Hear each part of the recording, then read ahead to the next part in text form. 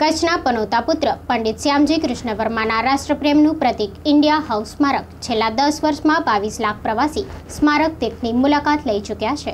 કચ્છના પનોતા પુત્ર પંડિત શ્યામજી કૃષ્ણ વર્માના રાષ્ટ્રપ્રેમનું પ્રતીક માંડવી ખાતેનું ઇન્ડિયા હાઉસ સ્મારક છે. વિદેશની ધરતી પર વતન પ્રેમની દાસને દેશપ્રેમીઓની ચળવળમાં સક્રિય ભૂમિકા ભજવનાર શ્યામજી કૃષ્ણ વર્માની એકસો પાસઠમી જન્મ જયંતિએ સાદર વંદન કરું છું. એમ ગુજરાત વિધાનસભાના નામનિયુક્ત પ્રથમ મહિલા અધ્યક્ષા ડોક્ટર નીમાબેન આચાર્યએ કહ્યું હતું.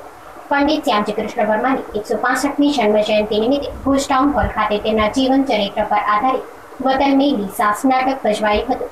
કરસનદાસ, પરસોત્તમદાસ, ચાંદ્રા પરિવારના સૌજન્ય અને પંડિત શ્યામજી કૃષ્ણ વર્મા મેમોરિયલ ફાઉન્ડેશન તેમજ નગર સેવા સદન ભુજ આયોજિત નાટકમાં અધ્યક્ષાશ્રીએ મનનીય સંબોધન કર્યું હતું. અધ્યક્ષાશ્રીએ આ તકે પંડિત શ્યામજી કૃષ્ણ પરમાના પિતા કિશનદાસ ભણસાળી પરિવારમાં જન્મ અને તેમના બાળપણ શિક્ષણ અને ઉચ્ચ અભ્યાસ અંગે વિગતે રજૂઆત કરી જણાવ્યું હતું કે જેમની રગેરગમાં રાષ્ટ્રપ્રેમ છલકાતો હતો એવા રાષ્ટ્રવાદી મહાપુરુષ શ્યામજીની આઝાદ ભારતના રાષ્ટ્રવાદી નાગરિક જોડે મારા અસ્થિ માંડવી પ્રસ્થાપિત કરાવજો. આ ઈચ્છાને તેમના જેવા જ રાષ્ટ્રપુરુષની નરેન્દ્રભાઈ મોદીએ પૂર્ણ કરી રાજ્યના તત્કાલીન મહામંત્રી રાજ્યના તત્કાલીન મુખ્યમંત્રી નરેન્દ્રભાઈએ જીનીવાથી પંડિતના અસ્થિકુંભ વિધિવત ખભે મૂકી સમગ્ર દેશમાં ભ્રમણ કરી રાષ્ટ્ર માટે આપેલા તેમના સમર્પણની પ્રતીતિ સૌને કરાવી હતી.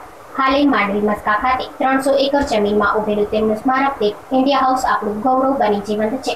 આ તકે અધ્યક્ષાશ્રીએ ભૂકંપમાં ભાંગી ગયેલા કચ્છને સત્યાસી વાર જાતે આવી વિશ્વના નકશામાં આગવી ઓળખ પ્રસ્થાપિત કરાવનાર વડાપ્રધાનના સવાયા પછી નરેન્દ્રભાઈ મોદીના વતન પ્રેમ અને કચ્છના વિકાસની વિગતે રજૂ કર્યા હતા.